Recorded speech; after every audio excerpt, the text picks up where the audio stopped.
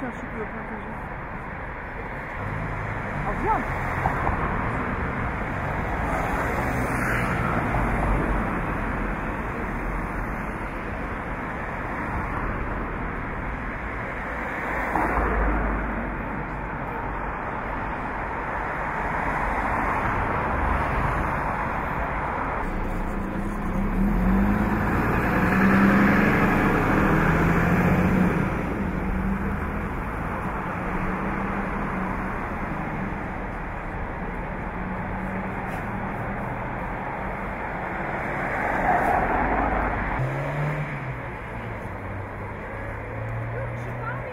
İşte Kılıç mı?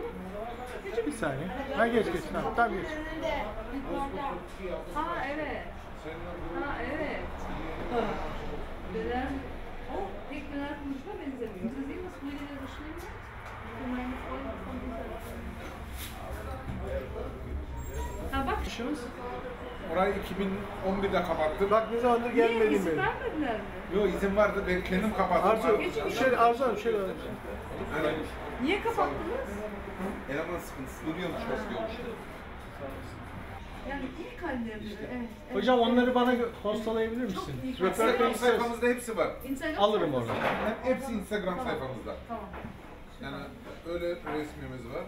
O eski halinden. Aynen. Eski bir fotoğrafı. Onu bulabileceğim. Ha. Şöyle bir tane. Bu dede mi? Yok o öyle çekilmiş Aha, burada. tamam. Müşteri. Ha. Dediğinde değil de babayla olacak.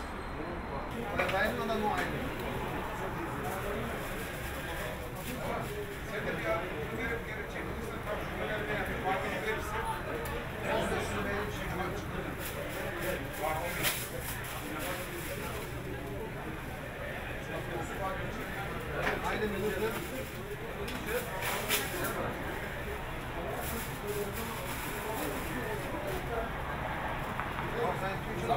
Siz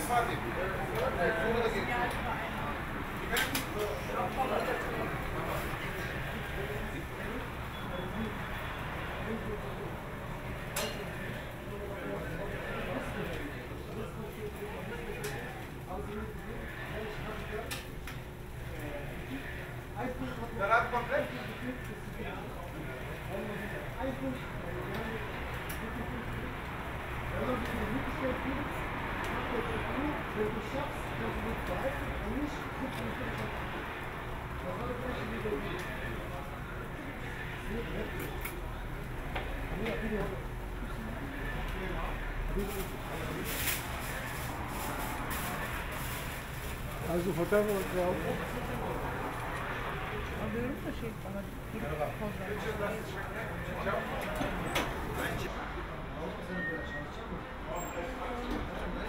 Thank you.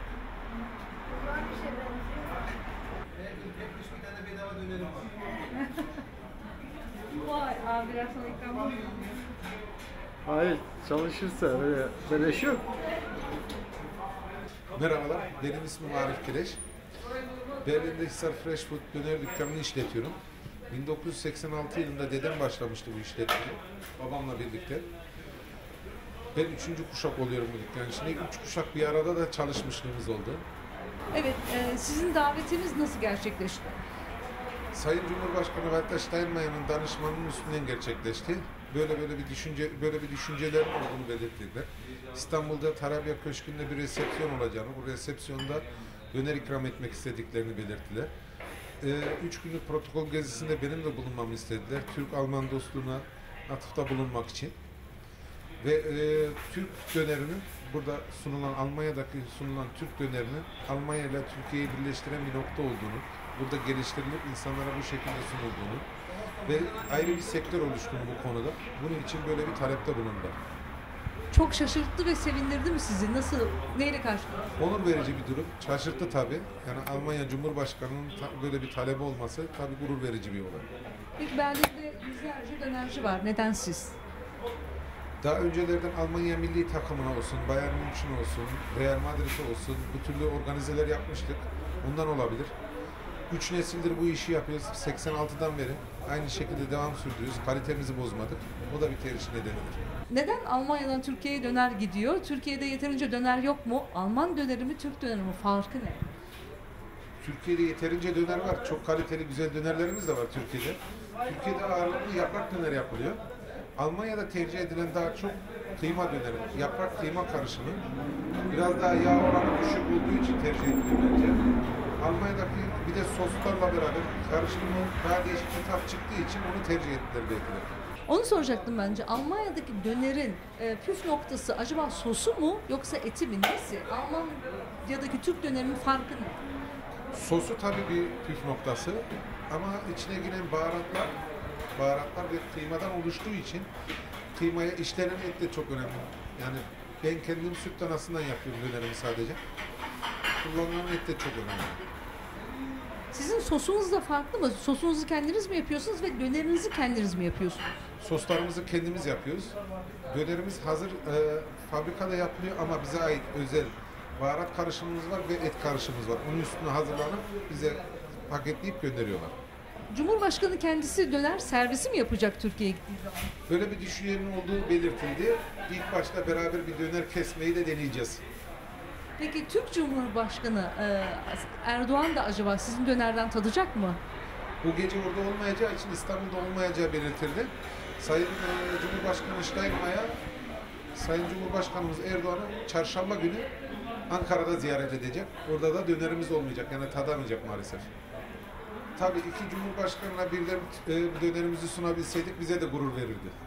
Peki size daha önce buraya siyasiler ya da Alman Cumhurbaşkanı veya da diğer siyasiler geldi mi? Siyasilerden gelen oldu. Bunlardan eminim. Ama herkesi tek tek tabii tanıyamıyoruz. Yani geldiğinin çoğu formasını yolluyor. Yani gelen herkesi de tanıyamıyoruz. Bir de iş yoğun olduğu anda herkesi tek tek ayırt edemiyoruz. Alman Cumhurbaşkanı gelmedi ama ilk Gelmedi. Alman Cumhurbaşkanı gelmedi. Benim bildiğim gelmedi. Ama geçen gün e, gazetecilerle bir toplantı yapmış. Orada döneri güzel. Size de tavsiye ederim. Gidin, tavsiye ederim. Gidin bir deneyin gitmeden önce demiş. işte güzel olduğunu nereden biliyor?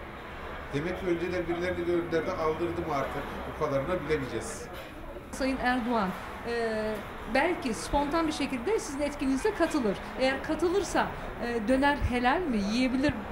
Bizim dönerimizin, dönerimize kullandığımız etlerin %100 helal olduğuna dair 5 kurum tarafından kontrol ediliyor. Helallik belgesi vardır. Bunlar da e, spontan haber etmeden gidip etleri tek tek kontrol ediyorlar kurumlar.